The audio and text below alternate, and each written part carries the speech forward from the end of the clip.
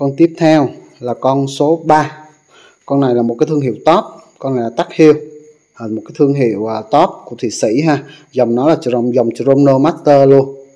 À, tức là dòng đã được kiểm soát và đã được thẩm định cộng tổ chức đồng hồ thẩm định á. Thì thường những con dòng Chrono Master thì có uy tín nó rất là lớn. Nha con này thì mang mạng số 3 có giá 8 triệu rưỡi. Và con này thì à, à, mặt của nó là hình như mặt là 40 đây ha mặt 40 đó, mặt 40 là các bác có thể là đeo thoải mái rồi. Đây là hậu của nó Chrono Master đây ha. Đây là dòng máy đã được kiểm định. Các bác hiểu là cái cụm từ này những con đồng hồ nào mà nó được trang bị cụm từ này thì nó đã được kiểm định qua thông qua một cái tổ chức. Nó giống như tổ chức chuyên kiểm định đồng hồ á thì dòng máy nó rất là chất lượng và thương hiệu nó, nó cũng khá là, là lớn nó mới kiểm định ha. Đó rồi bây giờ mình coi máy nó. Tắt hiệu này thì à, chạy dòng máy à, của 2892 của ETA ha dòng máy cao nhất đời cao nhất của ETA rồi đó. Máy thì khá là sạch à, máy này máy búa vàng máy trắng nhưng mà búa vàng ha.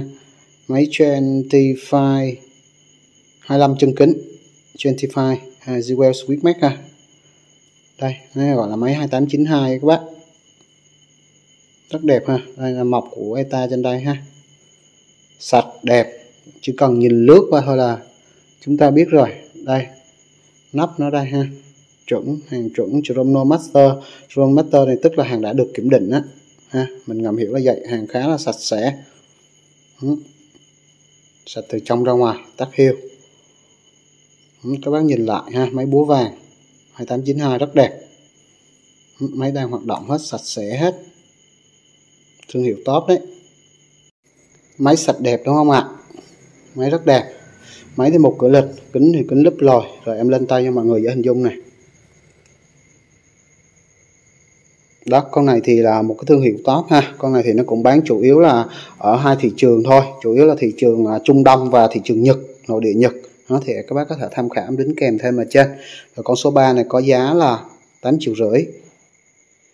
Mặt rất đẹp.